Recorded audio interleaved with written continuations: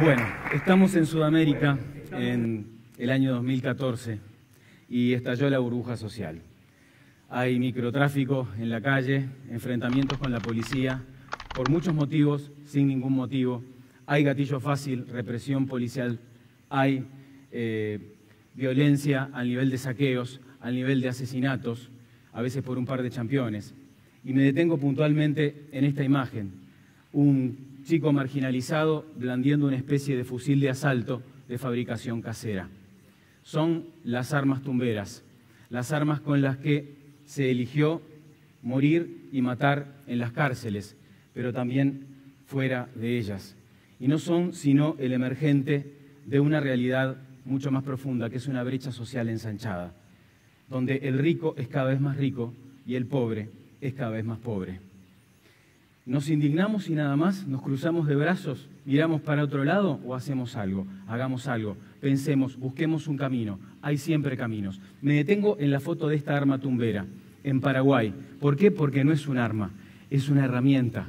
Es una herramienta que talla madera y que la usa este señor, Arnaldo Pájaro Galeano, un humilde guardia de seguridad en el barrio Las Mercedes, que trabaja en una casetita chiquita, 12 horas, a veces 24 horas por día, de fibra de vidrio cubriendo una, una barrera que cierra un barrio semiprivado y que hace estas maravillas, estas pequeñas tallas naif hipercoloristas que están comenzando a dar la vuelta al mundo y que han inmortalizado a héroes del rock, e inclusive han transformado en pequeñas estatuillas 3D a gente muy querida y muy conocida como el Panza Aguirre de Guarará, o al héroe del blockbuster paraguayo Siete Cajas. También ha trabajado y trabaja para una historieta, un cómic fantástico que se llama Coquito Man, ¿eh? un cómic de aquí, para marcas como Pulp, para clubes de fútbol como Libertad, e inclusive nos ayuda a nosotros, nos ayudó en esta campaña para el Touring eh, para la seguridad vial haciendo esta maqueta y ahora está plasmando este nuevo trabajo para una campaña de inclusión laboral para Saraquí. Llegamos al primer punto. La violencia del desangelado no es condición. La violencia del desangelado es consecuencia de un contexto hostil en grado de inequidad profunda, casi de desesperación. Con esto no estoy justificando al violento. Por el contrario, soy un convencido que la mayoría de las personas creen en el trabajo como forma de progresar y de salir adelante, como pájaro galeano, incluso de situaciones casi desesperadas. Si le damos la herramienta ¿eh? al que la necesita, la herramienta puede ser el libro, puede ser la asada, puede ser este tallador, entonces la violencia retrocede y gana el trabajo, gana las ganas de crear. César González es otro caso. Desde la infancia se drogaba y delinquía en una villa miseria de Buenos Aires, la Carlos Gardel. Le metieron 15 balas en el estómago y en las piernas. Estuvo dos veces en coma. Se comió cinco años guardado. Y pudo salir y volver a la villa a delinquir. Y sin embargo, como conoció a alguien que lo inició en Cortázar, en Benedetti, en Onetti, en, en, bueno, en los grandes escritores, en Borges, salió, volvió a la villa y abrió un pequeño taller de literatura en donde enseña a los chicos de la villa, a sus amigos, a leer y también a escribir. Se puede, siempre hay esperanzas. Esta es Prójimo, una agencia más de la Argentina. ¿Una agencia más? No, porque es la única agencia del mundo que fue abierta en una villa miseria, ¿eh? en la villa de la Cava, frente al Pituco barrio de San Isidro, ¿eh? en Buenos Aires Norte. Por este señor, Gonzalo Vidal, un tipo que lo tenía todo, que se ganó todos los leones de Canes ¿eh? con Vega Olmos y con Ponce, ahí recibiendo un titanio, y que después lo perdió todo. Y decidió apadrinar chiquitos en la villa de la Cava y abrir esa agencia de publicidad con esta gente. Por ejemplo, Patón, que estuvo 18 meses en la cárcel, salió y ahora es un redactor de la agencia. O Hulk, que trabaja como locutor y además como productor de, la agencia, de Prójimo. Agencia que produce sus propios artículos, por ejemplo, la línea de ropa inclusiva 1.15, que se vende en algunos shopping de capital muy importantes, o esta línea de pan dulces que hacen las propias doñas de la villa, eh, que, tienen buenos, eh, buenos sentimientos, están cargados, por ejemplo, de 700 gramos de optimismo.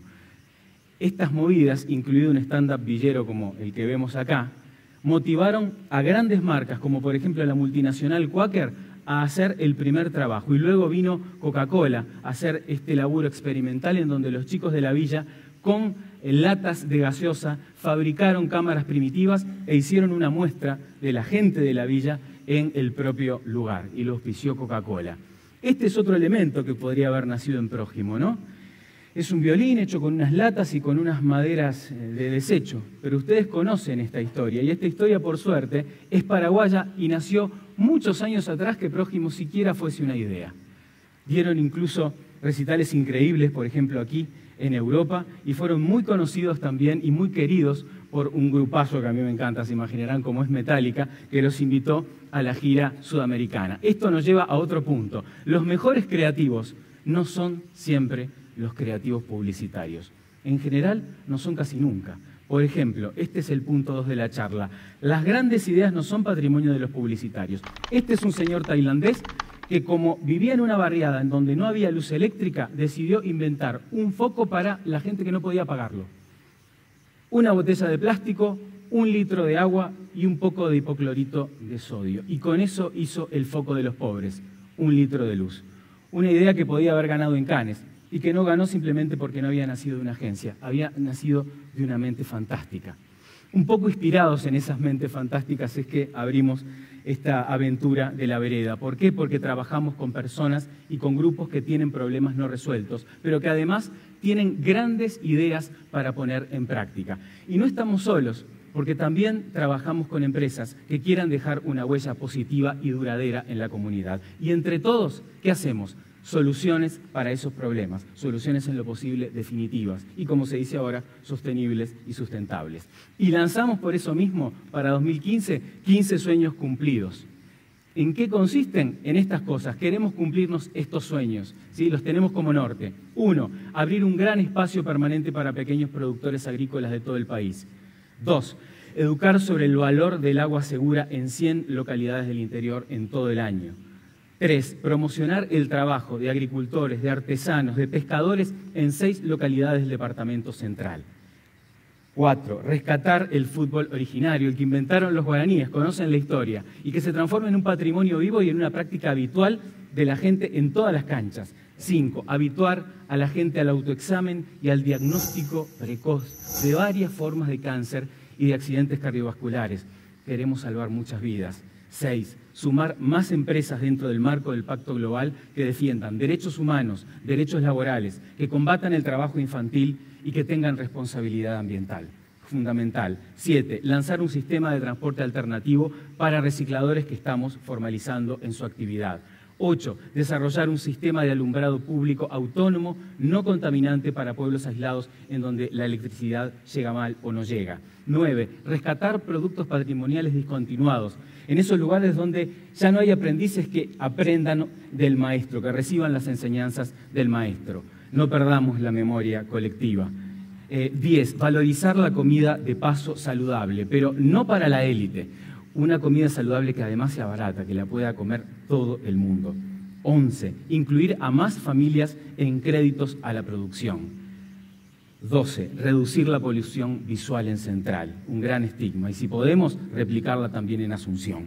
13. Normalizar el trabajo de personas con discapacidad, tanto en empresas públicas como en empresas privadas. Y más allá de eso, probar que las personas con discapacidad además pueden llevar adelante sus propias empresas y tener la autovalencia suficiente como para desarrollar sus propios negocios. Y por fin, aprobar la ley antidiscriminación en el Senado, que está dormida desde el año 2008 y que esperamos que este año finalmente salga. ¿Saben qué me gusta de todo esto? Que no parece publicidad. Me encanta por eso. Y tendríamos que preguntarnos, ¿qué ganan las marcas con todo este gran lío si en realidad lo que tienen que vender son productos? Y yo les digo, ganan plata, señores. ¿Por qué? Porque el punto 3 dice que la utopía es rentable. ¿Qué significa que la utopía es rentable? Que si las marcas trabajan la responsabilidad social y dejan una huella positiva y permanente en la gente, la gente, que son los consumidores, quiere más a esa marca que hace algo por la sociedad. Por lo tanto, ¿qué hacen? Le compran más a esa marca. Si compran más, las marcas facturan más. Y si las marcas facturan más, sencillamente al final del año tienen más dinero. ¿Se trata solo de plata? No. Como decía mi chamán Daniel Nasta, también está el salario emocional, la alegría de saber que estamos trabajando en lugares en donde podemos dejar una huella positiva en las personas, más allá de nuestras propias narices, ayudar al prójimo, hacer las cosas para los demás. Eso no tiene precio. Y la cuestión de fondo, si hay más trabajo, hay más ocupación, y si hay más ocupación, hay menos violencia. Volvemos entonces al inicio. Finalmente, el punto cuatro, hay un nuevo paradigma del marketing, es la bondad como motor de todo lo que hacen las marcas. Nico Nogués, padre del activismo creativo, dice, ya toca a las empresas dejar de decir lo buenas que son y empezar a demostrarlo. Lo dicen los diarios, reclaman negocios que respeten más lo ambiental y lo social. Los consumidores jóvenes se lo piden a las empresas y a sus marcas. Antes, este era el plan de marketing de cualquier empresa. La responsabilidad social empresaria era un apéndice, un extremo. Hoy las cosas mudaron, ahora es la columna vertebral. Hablamos de utopías monetizadas, hablamos de agencias con oficinas en un barrio marginal, hablamos de creativos que nunca estudiaron para ser creativos. Meme.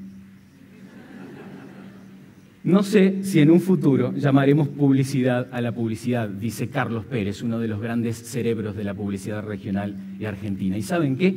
Me parece una gran noticia. Porque si el día de mañana mi hija me pregunta, ¿y vos pelado, en dónde laburás? Antes que contestarle esto, yo realmente prefiero de corazón contestarle esto. Muchas gracias.